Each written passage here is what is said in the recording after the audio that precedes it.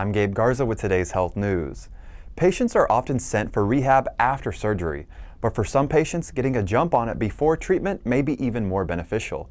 A new study from Canada found that cancer patients who did rehabilitation before they began treatment, called prehabilitation, tended to recover faster from surgery, chemotherapy, and radiation.